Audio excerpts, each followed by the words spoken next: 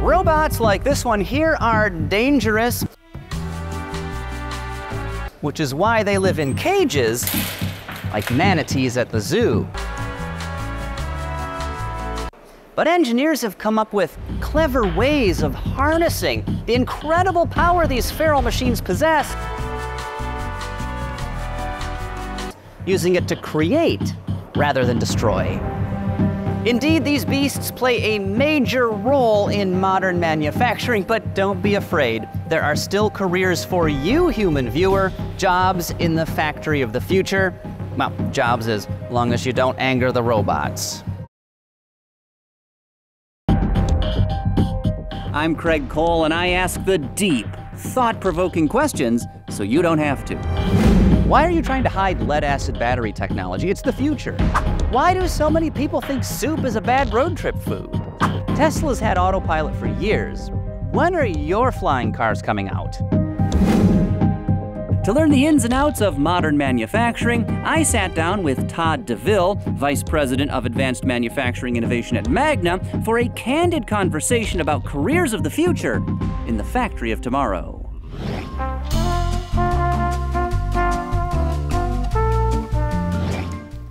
You and what do you do at Magna? I'm Todd Deaville. Uh, I lead our advanced manufacturing innovation team in uh, corporate R&D. Is Magna a manufacturer? And if so, what does the company build? Definitely a manufacturer, but not just a manufacturer, right? But at our heart, we, we build things. That's the, the core of the company. And, you know, some of the things we, you see around here uh, behind you, right? Is manufacturing important and can you build things without it? Yes and no. uh, manufacturing, I mean, it, it's, it's critical, right? Uh, at its root, um, you know, we, we have to make physical things, and that's, that's manufacturing. Does Magna also make profits? And if so, are those stamped? Are they extruded? Profits, you say. Well, profits kind of tend to be, I, I learned, a byproduct of making other things that people want. Yeah, so why not just manufacture the money? Wouldn't that be a lot simpler? Well, we're in the United States, and I, I think that government kind of has a monopoly on that. I mean, it's a good business model. I'm suggesting it for you guys to expand, expand potentially. Uh, we'll um, take that under advisement. Please do, and do credit me if you decide to go that route. Um, so why would anybody want to work in manufacturing? Isn't it dirty and dangerous? And if I wanted to deal with any of that, I could just be an elementary school teacher or something, right? Well, not to knock elementary school teachers, because you know we need those too. But manufacturing, it, it's not dirty and dangerous. Generally, a clean, neat, safe environment is, going back to your earlier point, a profitable, efficient factory.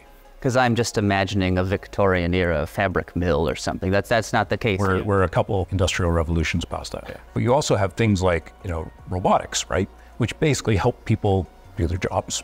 Um, and, and typically taking on sort of the heavy, highly repetitive, dirtier tasks uh, and trying to automate those. And so people don't have to do them. And, and basically you can allow people to, to work at what they do best, right? Higher value added, higher quality uh, work and effort, and then use the, the robots and the technology to support it. You mentioned using robotic technology to sort of do the dirtier tasks. What are the dirtier tasks? Is that shoveling coal and cleaning the smokestacks or what? No, so if you think about sort of moving um, large or heavy components, uh, uh, or, or say having to, to do machine tending, so you have a, a process, whether it's stamping process, a molding process, welding, et cetera, and you need to move components or assemblies around, uh, they may be hot, they may be dirty, they may be a you know an unsafe environment. You can use robots in those environments to get people out. I'll be honest, I, I have seen some of these robots and I'm just, I'm not very impressed.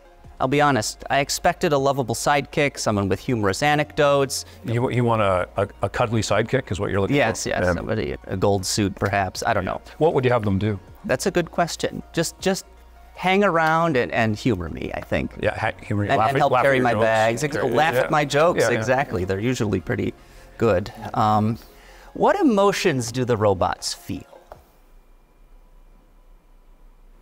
Well, I think maybe not emotions directly. If you think, what, what is an emotion to a robot? It's a sense, right? It's a sense. So touch or sight, um, they probably feel this is heavy. this is in the wrong spot. I got to fix this. I need some maintenance. Are you a robot? Not that I'm aware of, although you're not the first person to ask. Perfect. Then can you help me find the traffic lights in this picture? Because I've been trying to get in my bank account for more than two weeks, and this keeps tripping me up. Uh, yeah, no, my eyes aren't that good. Sorry. So maybe you are a robot after all. I, I failed the test. Well, so did I, to be fair. Yeah, okay. I still can't get to my checking account. Any idea how long until we have like true artificial intelligence? When will robots become sentient? So, sentience a tough question, right? Uh, I, I, that is kind of out there and, and almost a question for the philosophers, I'd say, sort of when, when you have sort of true sentience or self awareness. But what's really important is artificial intelligence that's useful we have today. Can it do everything people do? No, not yet. To be honest, I don't think that can be judged until sort of we're at some point in the future and historians can look back. But the important point is for today, we can use it now. We can start applying it and it just gets better all the time. Talk to me about AI or data analytics, other other facets of manufacturing that maybe don't get covered. Computers are very good at uh, looking at multivariable things that, you know, as a person, you can handle a certain level of complexity. At some point, it becomes too much. And, and that's really where, where the, uh, the AI software and these systems come in, and they can sort of help us make better decisions, better modeling of flows through the plant. If you think about uh, robotics and automation, uh, vision inspection cameras, we're moving from much more, um, say, discrete programming. Most people don't directly write a program on their phone or the computer. Most people, there's tools you use, whether it's sort of video or audio or sort of graphical interfaces to help program and guide and train. Uh, I think we'll see far more of that coming into the factory. So modern manufacturing is not just standing on the assembly line, putting a, the same component in a vehicle or working at a CNC machine. There's a lot more to it than that. There's there's an awful lot more to it than that, right? And I think the it, what you see, the manufacturing the piece is sort of the tip of the iceberg, and then you have the whole iceberg underneath. That's you know all all of this back end uh, uh, knowledge and effort, right? You mentioned that a lot of the programming is done sort of graphically. You're not sitting there typing out code anymore. So if people, say during COVID, went to a, say, a coding boot camp to learn some of the basics of, of writing computer code, is that something you guys would be looking for at Magna? Yes, I mean certainly, right? It depends on the specific role you're looking for, but uh, I think um, like a, a, general coding skills are useful in a whole lot of areas. So, um, yeah, certainly. Why are punch cards, though? Why are they still the best way to program?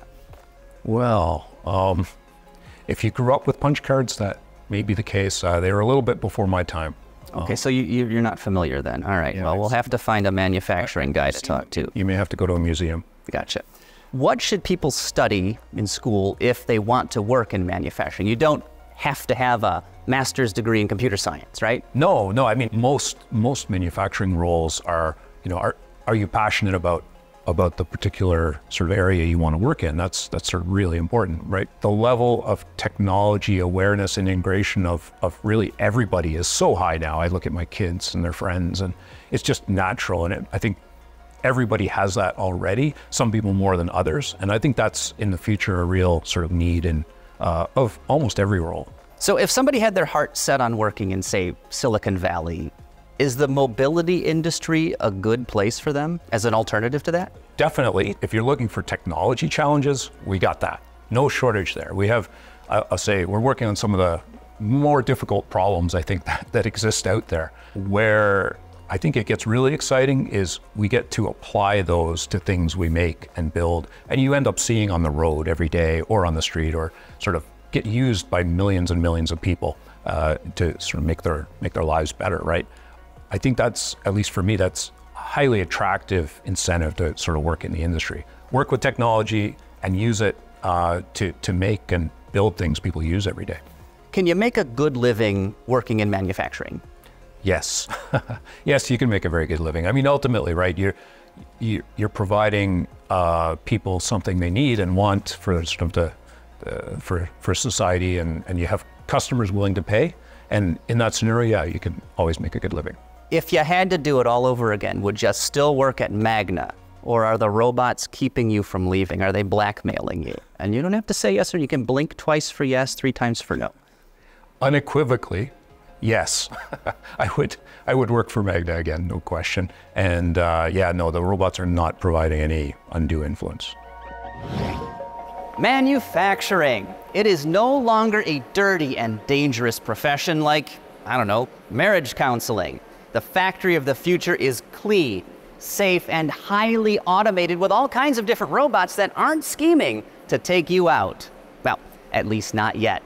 And of course, as we learned in this video today, modern manufacturing is a fantastic career option for all kinds of different people. Hey, if you're looking for a job in the mobility business, there may be a career for you in the field of sustainability. Click right over here to learn more.